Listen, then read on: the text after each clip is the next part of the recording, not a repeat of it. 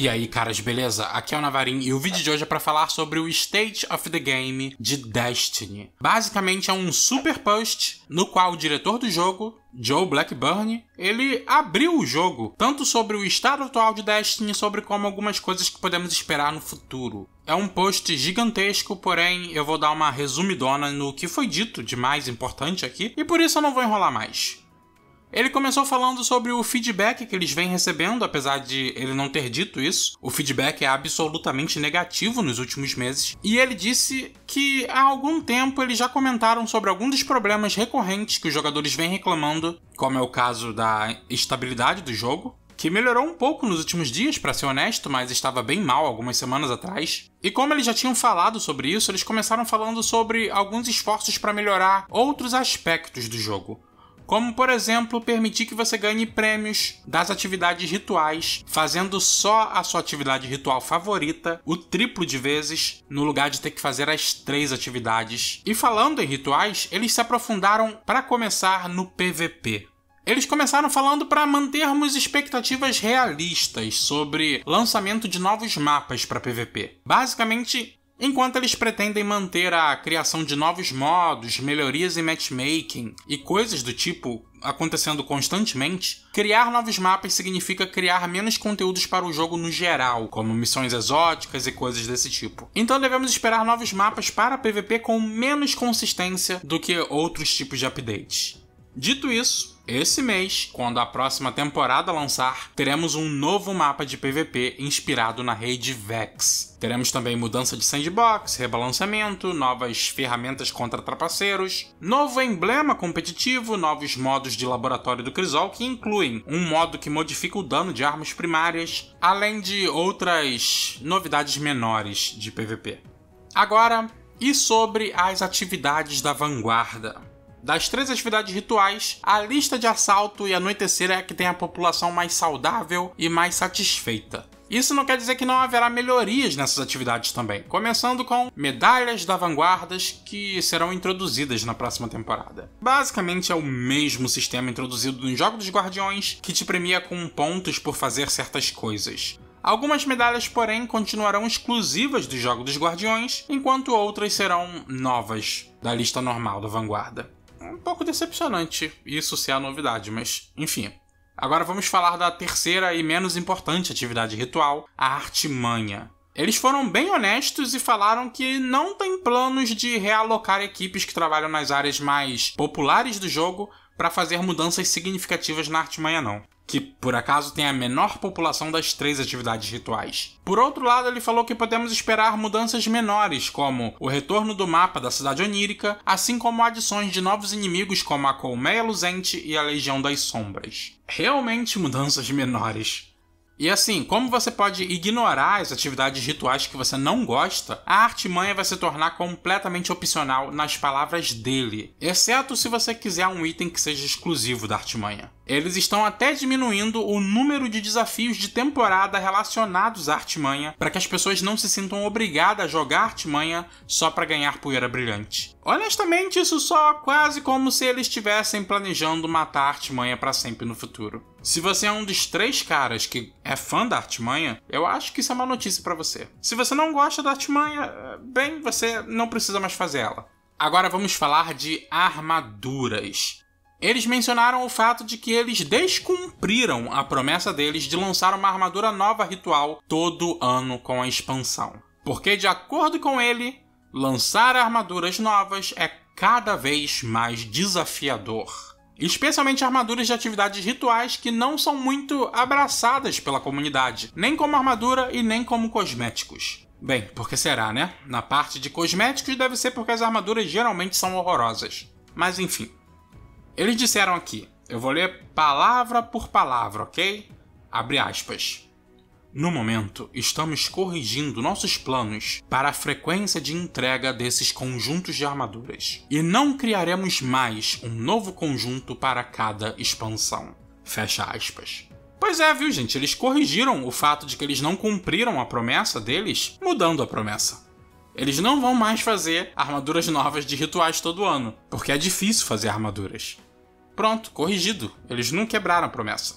Dito isso, eles garantiram que em a forma final haverá novas armaduras rituais e na próxima temporada teremos uma nova armadura dos desafios de Osiris. E nessa imagem que eles mostraram dá pra ver como vai ficar a armadura dos titãs do desafio de Osiris. Agora vamos falar sobre segurança do jogo e trapaceiros. Essa é uma parte um pouco mais técnica, um pouco mais chata, mas basicamente eles repassaram tudo o que eles fizeram esse ano e falaram um pouco sobre o que eles continuam fazendo, e isso inclui mudanças no Battle Eye que detecta novas atividades ilegais. E isso levou a uma das maiores ondas de banimento da história de Destiny, incluindo contra jogadores que usam site de recovery e boosting, que é proibido pela Band.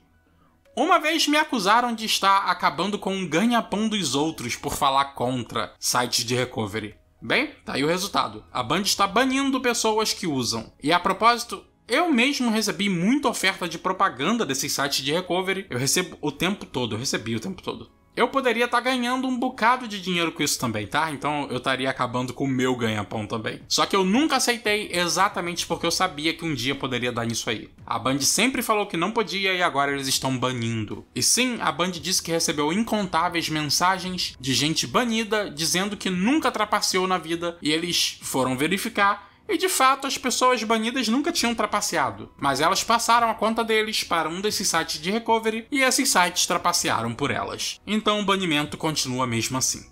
Além da parte tecnológica, a equipe legal da Band continua processando e indo atrás de sites que criam e distribuem cheats para Destiny.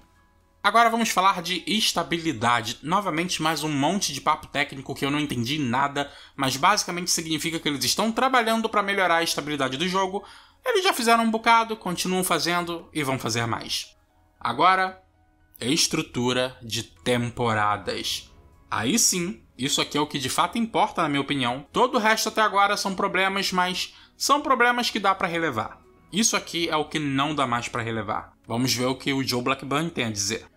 Basicamente, o Joe disse que eles estão trabalhando muito para subverter as expectativas dos jogadores no que se trata do que esperamos de uma temporada. Assim como eles estão trabalhando para deixar as temporadas mais únicas. E assim, de certa forma, eu vou falar a verdade, eles conseguiram deixar as temporadas mais únicas. A temporada atual, a temporada das profundezas, é de longe a mais única da história de Destiny. Isso não significa, porém, que ela foi boa. Ela tem a terceira pior audiência da história do jogo até agora, mas ela de fato foi a mais única. Nenhuma, nenhuma temporada de Destiny foi tão diferentona como a atual. Porém, voltando ao artigo. Ele não ficou só na declaração vaga, ele mostrou um pouco do que podemos esperar. Ele revelou só coisas pequenas agora, mas ele prometeu revelar muito mais no showcase do dia 22 desse mês. Porém, ele revelou algumas coisas, como por exemplo, favoritar cosméticos. Poderemos favoritar até 100 cosméticos, coisas como tonalizadores, emotes e mais, como vocês podem ver na tela agora. Além disso, todos os aspectos e fragmentos de Stasi estarão disponíveis para qualquer personagem que completou Além da Luz, sem mais besteira nenhuma para conseguir. Transmaterializadores agora serão destraváveis e não mais consumíveis. Eu acho que essa informação tinha vazado. Ele também falou sobre uma reformulação e uma simplificação na jornada exótica do arco destruidor de desejos, além de uma nova aba para recursos adicionada na coleção do jogo. Também, levels das atividades rituais agora aumentam automaticamente sem que você precise ir antes para a órbita. E agora a bandeira de ferro, visto que o jogo não tem mais um aumento de nível de poder por temporada, não teve na temporada atual e nem terá na próxima, as razões para jogar a bandeira de ferros pelos itens pináculos diminuiu. Então haverá dois tipos de jornada diferentes para a bandeira de ferro agora. Uma focada em itens pináculos e outra focada em reputação. Essas são algumas das mudanças menores que poderemos esperar durante o ano, as maiores saberemos no showcase do dia 22. Agora vamos falar sobre rebalanceamento e sandbox. Começando com o fato de que teremos três novos aspectos de filamento na próxima temporada, um para cada classe assim como mais rebalanceamento de armaduras exóticas pouco utilizadas. Além disso, ele mencionou novas subfamílias de armas e adições inesperadas ao nosso arsenal, que veremos no próximo showcase. Eu lembro que tinha vazado uma imagem de um arcano, eu acho, usando um turíbulo como arma. E informações sobre armas como bestas e pistolas em duas mãos, uma em cada mão no caso, todas essas informações vieram de vazamentos que eram mais ou menos confiáveis, que acertaram bastante coisa, mas nada disso rolou no jogo. Será que vai vir esse tipo de coisa agora? A gente vai ter que esperar o dia 22 para saber. E é claro, vai ter também rebalanceamento de armas. Toda temporada tem, isso não é nenhuma novidade. Porém, para terminar esse super post, o Joe Blackburn falou sobre quais são os seus objetivos para Destiny para o ano. Na verdade, ainda são os mesmos quatro objetivos que ele mencionou o ano passado, e ele quer repassar o que funcionou e como eles vão continuar melhorando esses objetivos.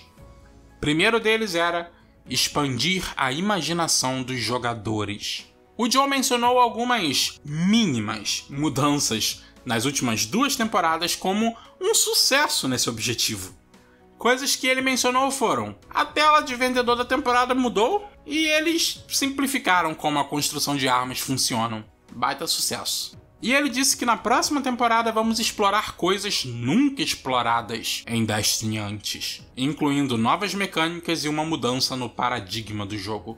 Honestamente, essa mudança não me parece tão fantástica assim quando as duas coisas que ele mencionou como sucesso nesse objetivo são tão mínimas. Talvez essa nova coisa nunca antes explorada seja ícones redondos no lugar de ícones quadrados, ou sei lá.